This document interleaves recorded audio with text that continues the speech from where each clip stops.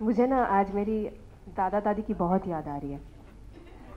जी हाँ क्योंकि वो हमेशा मुझे बोलते थे कि ये मत खाओ, वो मत खाओ, ये मत पहनो, वो मत पहनो, ये मत देखो, वो मत देखो।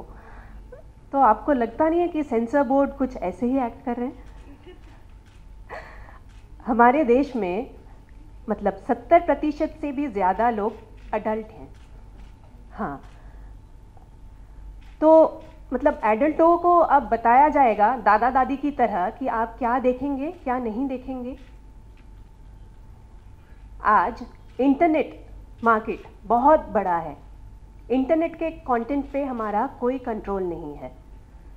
अब पॉन्ड अगर आपको पॉन्ड देखना है तो आप फ्री में देख सकते हैं।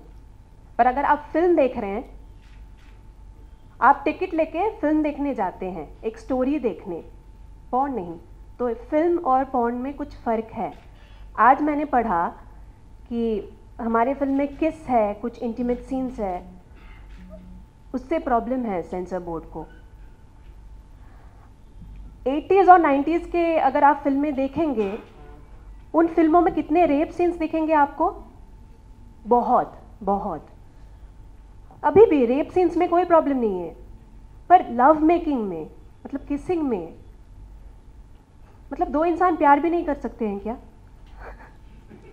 हैरान हूँ। मुझे लगता है कि सेंसर बोर्ड को ऐसे दादा दादी की तरह ना लोगों को कंट्रोल करना बंद कर देना चाहिए। लोगों के पास ऑप्शन है। लोग क्या देखेंगे, क्या नहीं देखेंगे, ये उनकी फ्रीडम है। ये एक डेमोक्रेटिक कंट्री है। डेमोक्रेसी है। लोगों को मत रोकिए। लोगों को अगर पसंद नहीं आएँगे, लोग नहीं देखेंगे। पसंद आएँगे तो लोग देखेंगे। And film is a very serious business बहुत लोग, मुझे पहले इस बात की समझ नहीं थी। अब मैं देखती हूँ कि एक फ़िल्म में सत्तर, अस्सी से सौ लोग तक काम करते हैं। इतने लोगों के घर चलता है।